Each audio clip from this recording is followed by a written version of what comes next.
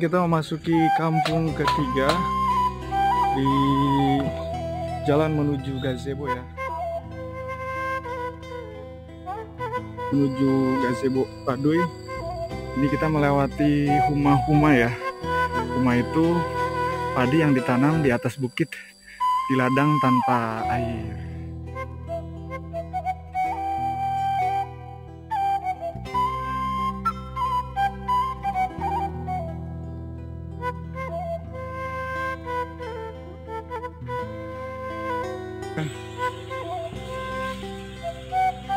Bening ya.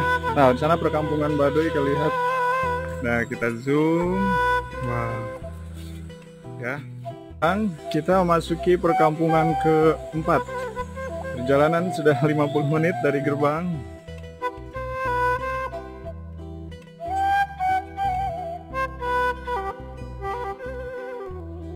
Sekarang kita sudah hampir tiba ini kampung